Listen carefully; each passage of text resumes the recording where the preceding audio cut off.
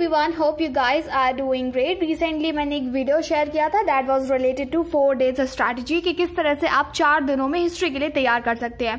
Now this video is going to be about ये जो तीन किताबें हैं ट्वेल्थ हिस्ट्री की, इनमें क्या टाइम लाइन इंपॉर्टेंट है लाइक इट इज़ गिवन क्योंकि बहुत सारे ऐसे स्टूडेंट्स हैं दे वॉन्ट टू नो कि इस टाइम लाइन को याद करने का कोई फ़ायदा भी हो गया या नहीं होगा। So this is what I am gonna tell you in this video कि आपको कौन सी टाइम लाइन याद करनी चाहिए और कौन सी टाइम लाइन नहीं याद करनी चाहिए। So let see the context of this book which is given here देखिए सबसे इंपॉर्टेंट बात मैं आपको बता दूँ टाइम लाइन याद करना बिल्कुल भी इंपॉर्टेंट नहीं है येस yes, बिल्कुल सही कह रही हूँ मैं टाइम लाइन याद करना ज़रूरी नहीं है for first book and second book ना वॉट इज़ इंपॉर्टेंट ये है कि थर्ड बुक जो है आपकी हिस्ट्री की, इसमें आपको टाइमलाइन याद करनी होगी। टाइमलाइन से मतलब है, देखिए सबसे इंपॉर्टेंट इवेंट जो है, वो इसी बुक से हुए हैं। महात्मा गांधी वाले चैप्टर में नॉन कॉपरेशन मूवमेंट कब हुआ? सिविल डिसोबीडियंस मूवमेंट कब हुआ? सॉल्ट मार्च कब हुआ? जो साइमन कमीशन है, वो कब इंडिया आया था? So this one is important थी, थीम जो 14 है अंडरस्टैंडिंग पार्टीशन इसमें जो जितनी भी डेट्स दी गई है वो इंपॉर्टेंट है।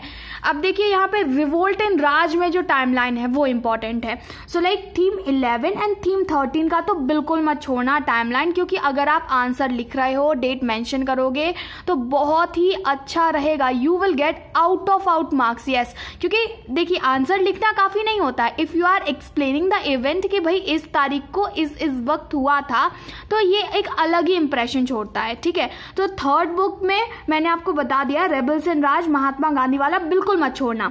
एंड बाकी इंपॉर्टेंट है सो थर्ड बुक में हर चैप्टर की टाइमलाइन को एक बार पढ़ लेना। I make video I try to make video separate video on it जिसमें हम देखेंगे कि क्विक वे में हम किस तरीके से याद कर सकते हैं। सो so, ये तो हमने थर्ड बुक के बारे में डिस्कस कर लिया। चलिए इसको साइड में रख देते हैं। And let's talk about the second book so second book में सबसे पहला जो चैप्टर है आपका, ठीक है, ये वाली किताब। इसमें है through the eyes of travellers तो ट्रेवलर्स में आपको डेट याद नहीं रखनी है। जस्ट टू रिमेम्बर कि जो मोहम्मद अहमद यानी कि अल बिरूनी शॉर्ट में टेंथ एंड इलेवेंथ सेंचुरी के बीच में आया था, मार्को पोलो थर्टींथ में आया था, ये भी याद करने की ज़रूरत नहीं है। अलबरूनी का याद कर लेना, इब्न बतूता का याद कर लेना फ्रेंकोस बर्निया का याद कर लेना, इतना काफ़ी है। बस, किस सेंचुरी में आया था? मैं डेट भी नहीं कह रही हूँ आपसे। सेंचुरी याद रखना।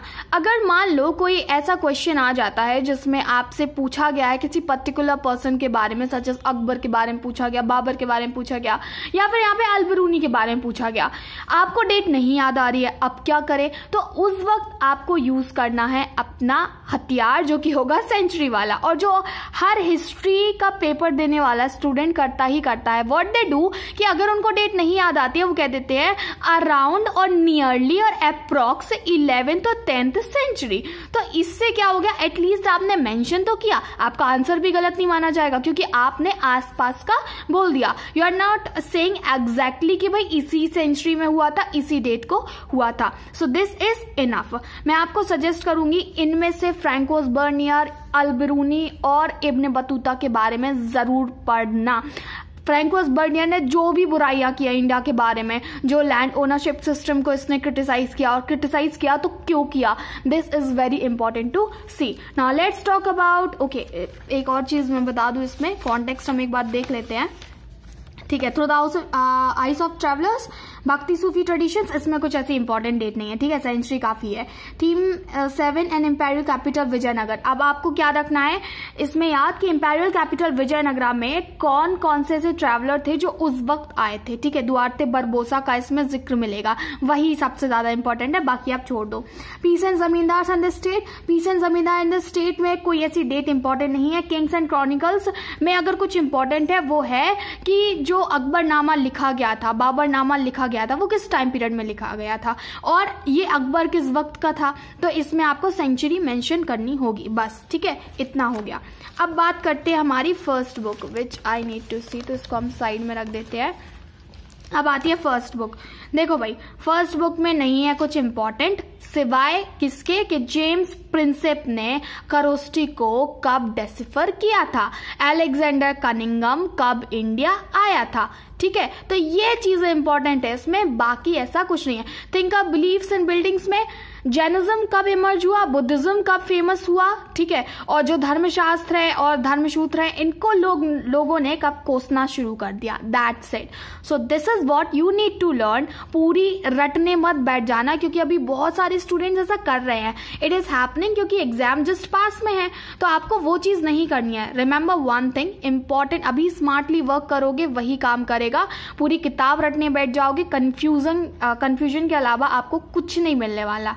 तो अभी मैं वीडियोस बाकी बना रही हूँ इंपॉर्टेंट क्वेश्चंस की। स्टे ट्यून्ड सब्सक्राइब करो ये चैनल और जब तक देखिए मैं प्लेलिस्ट की लिंक जो है शेयर कर दूँगी कमेंट सेक्शन में भी पिन कर दूँगी डिस्क्रिप्शन बॉक्स में डाल दूँगी। हिस्ट्री के जितने वीडियोज़ है मेरे चैनल पे, इस चैनल पे सारे देख लेना क्योंकि वो सारे शॉर्ट वीडियोस है। तो अगर आपने चैप्टर नहीं पढ़ना है, मत पढ़ो। दस मिनट की वीडियो आपके लिए मोर देन इनफ होगी। और जो अपकमिंग वीडियोज़ है, उनके लिए तैयार है ना इसलिए बेल आइकन जो है वो दबा लेना। नोटिफिकेशन सबके लिए ऑन रखना। पता चले क्योंकि कई बार ऐसा होता है आप लोग ऑल के लिए नहीं क्लिक करते हो ज़्यादातर यही करते हैं और फिर नोटिफिकेशन नहीं मिल पाती है। I am sharing each and every video जो भी इंपॉर्टेंट है। सो डोंट वरी हिस्ट्री के लिए स्टडी शिविट करती है।